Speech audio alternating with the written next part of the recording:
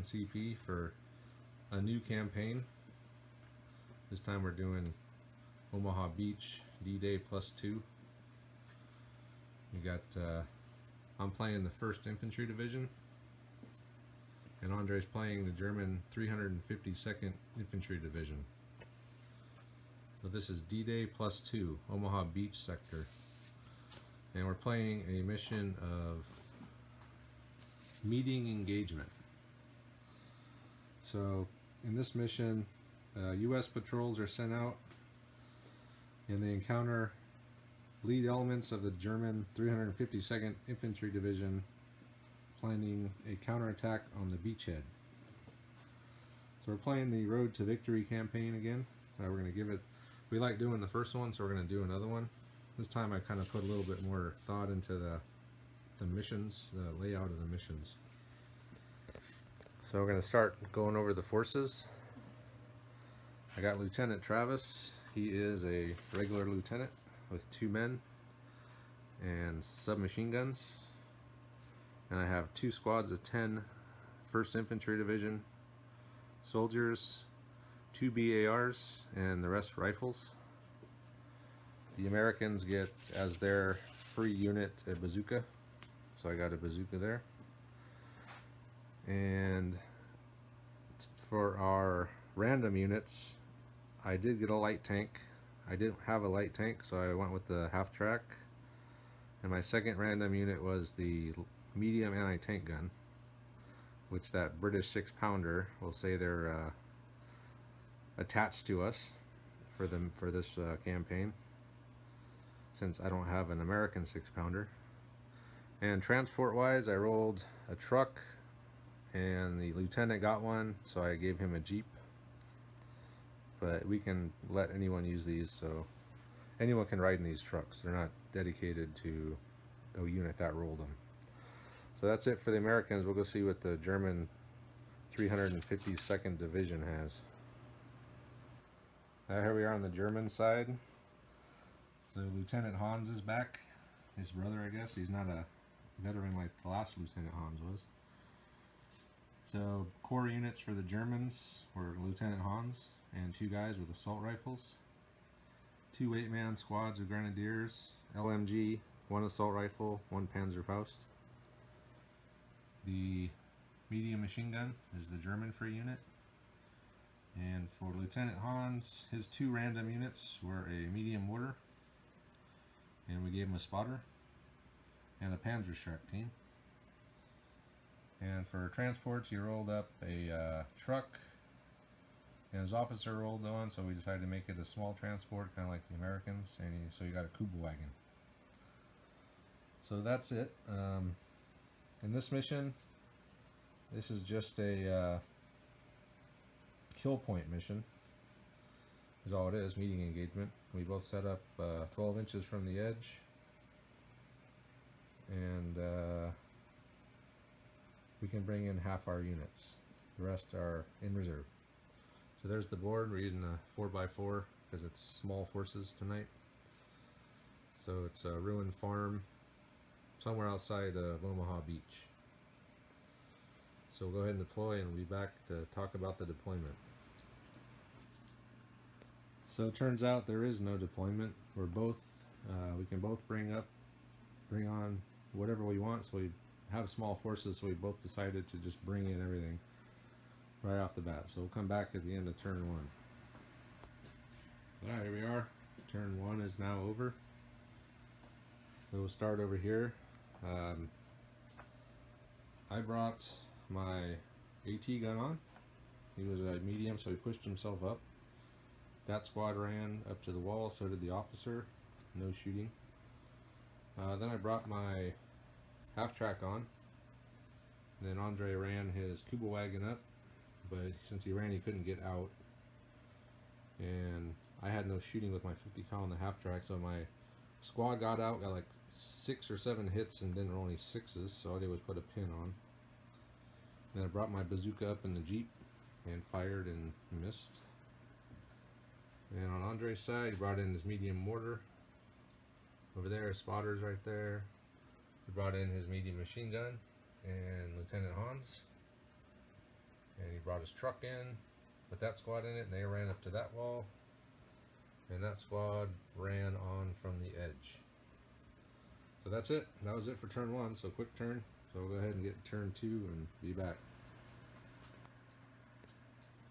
Alright, here we are at the end of turn two. So the first thing I did, I uh, I got the first die and I advanced up and killed the Kübelwagen and the Panzer Panzerschreck team died in the explosion. Uh, and then he dropped, uh, I moved my half track up and fired his truck that was out there in the open and missed. And then he hit me uh, with the mortar, the medium mortar, um, immobilized me. So he used two pins and immobilized. And my bazooka advanced up and fired on his medium machine gun, who advanced up into the woods right there. Over here, his truck uh, went over there to get out of uh, out of the open, save a kill point. I was going to shoot at him with my uh, medium AT gun, but he moved. So I fired on the squad there and missed. I also fired on that squad with my infantry squad and put a pin on them and killed one. Well, the squad that was there. They're over here now because they ran over here. That squad ran there and his officer ran there. So he's trying an end around over here. Uh, I pulled my officer back behind the wall. So he's going to have to come get me out of there if he wants to get me. Uh, and that's it. Um, nothing else happened. I put my truck down and my Jeep just uh, backed up. That's it for turn two. And we'll go on to turn three. Right, we're back now. Turn three is over. Uh, start over here.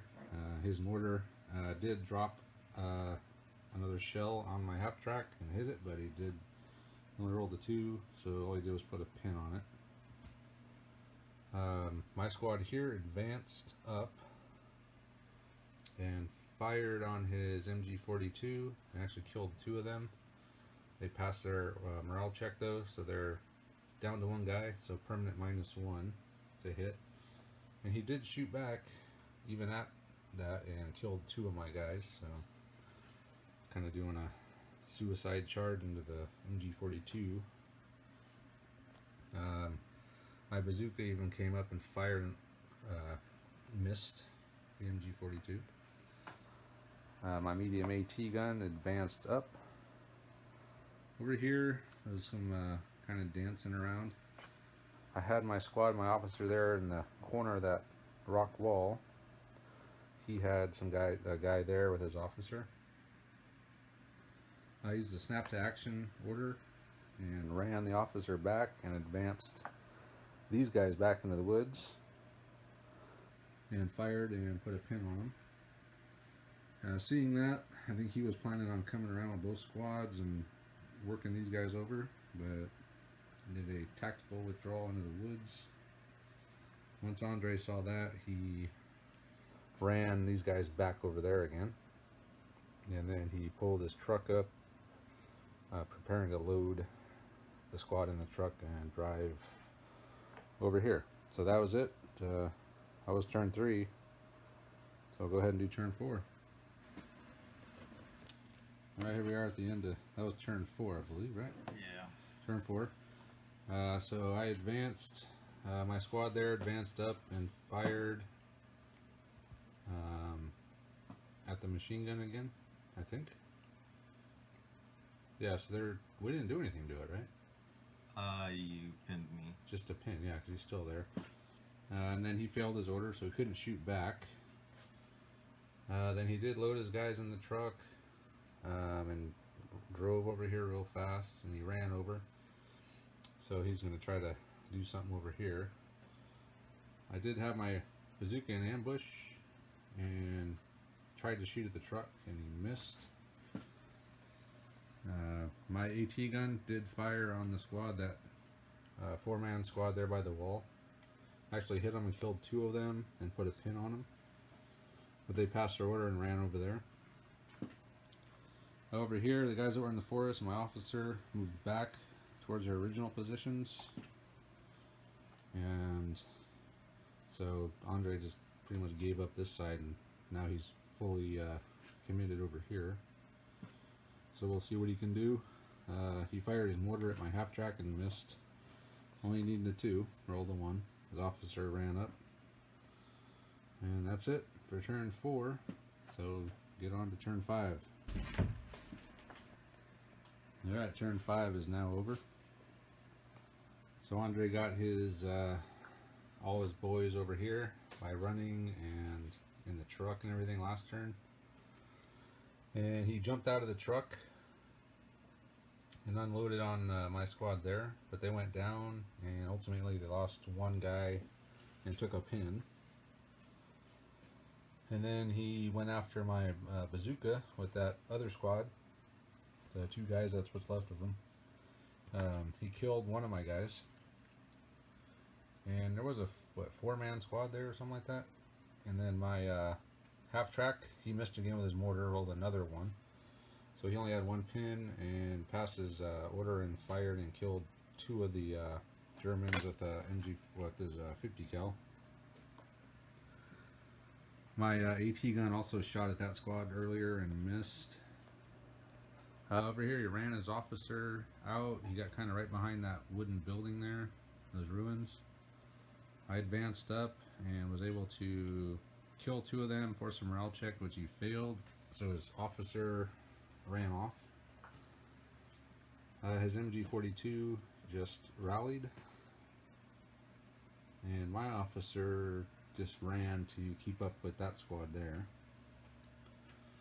So as of now, going into turn six. It is three dice to zero. Um, and I got a squad there, and he's got a squad there. So we'll see what happens. And then I got a half track and a one-man bazooka team, and he's got two guys. So we'll see what happens. We'll be back at the end of turn six. Here we are again. Turn six is over. Uh, so over here, I had that big squad. I got the first die. Uh, I ran, or I advanced, behind the wall and fired on the squad there on the left. I didn't do very well. I killed some, but there's still got four guys. And then he fired back and killed like five of mine. So I'm down to two. Um, and a pin. And then he killed my uh, bazooka team with that squad. And then they lost uh, my machine gun, or this squad here advanced up and fired and killed uh, one of them. He barely passes over with an 8. Um, so he's still there. I did fire him with my uh, anti-tank gun and missed. My half-track actually foobarred but he only uh, rolled a 5. So he was supposed to reverse, but he's immobilized, so he just went down. And his uh, MG42 advanced up. And his mortar fired and missed. No, he actually hit my half track, but I think he put a pin on it. That's why he failed the order. So right now I got four dice. Andre's got two, one dice. He can possibly kill two of mine. We are going on to turn seven. He can definitely probably kill my two man, that squad, finish off that squad. I think I kind of overextended them a little bit. And maybe my half track. Uh, but that'll bring them to three. I got four, so I don't know if you can pull it out or not. So, I can but push a pseudo draw, but but um, casualties do mean something Yeah. in the campaign. So you get a minus one when you go to roll your, you know, when you on some rolls when you're rolling on the table to see what happens for the next battle. So it is important to kill units, even if it seems pointless. It could mean something next battle. So go ahead and do turn seven and be back. All right, turn seven. Uh, we just finished and we made it through. You know, we did what we could that was going to matter and he did kill off that uh, the last two men of that squad there. So they're going to take a hit on the uh, campaign uh, when we when we roll for stuff on the next battle. But he didn't lose that guy. He did went down, so he's made it. That squad made it through.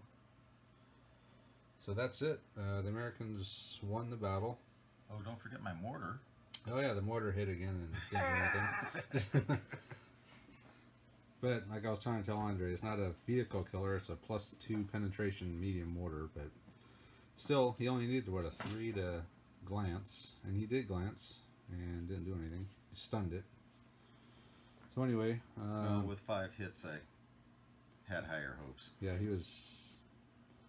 He should have did something. and He did. He immobilized it. So that's it for turn seven. So American victory. I had uh, four dice. Andre had two. Uh, he did lose a vehicle. I did not, uh, thankfully. So we'll go ahead and uh, tabulate everything up.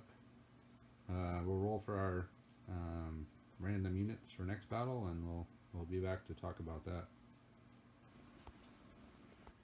So we've gone ahead and rolled up everything for the next battle. And the next battle is going to be a uh, point defense, a modified version of point defense. Uh, having driven back the initial force, the Americans drove back the Germans' uh, probe, and now we look to push deeper in enemy territory by capturing key objectives. So it'll be a point defense with the Americans attacking. Technically, I didn't win because I had to win by two or more to be a victor, but I actually only had three of his. He had two, but there has to be a there has to be a victor in order for the campaign to work. So the Americans won that one. So changes. Lieutenant Hans has dropped to inexperienced, which he should after running off the battlefield. Uh, his first squad went to vet.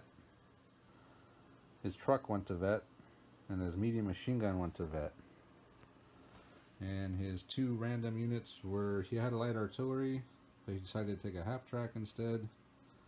And he got a self-propelled AT which reading the uh, description could be anything up to a Stug.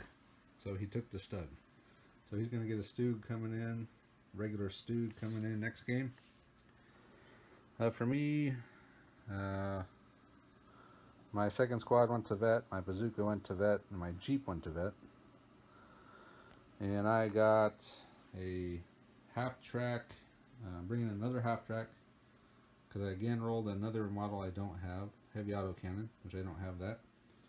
And I'd roll the heavy anti-tank gun, which I do have, one of those. So that'll be our forces for next time. The heavy AT gun will probably come in handy against the Stug. So will the medium anti-tank gun for that matter. But anyway, the uh, meeting engagement's over. Uh, the, Ger the Americans, 1st Infantry, drove back the German probe. Now a gap has formed in the line and the Americans are going to try to push through. So we'll be back for Battle 2 and see what happens. Thanks for watching.